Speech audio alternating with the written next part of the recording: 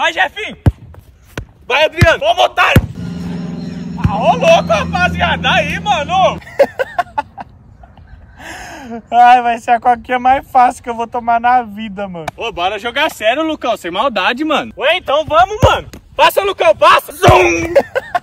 Vai, menor. Toma. Toma. Ai, aí, rapaziada. Ô, falei pra vocês fazer gol,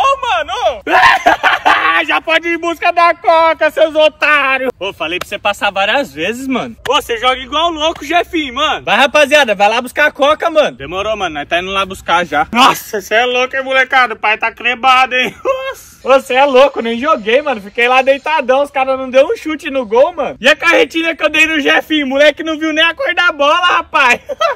Isso daí você aprendeu comigo, né, menor? Ficar vendo o pai jogar, né?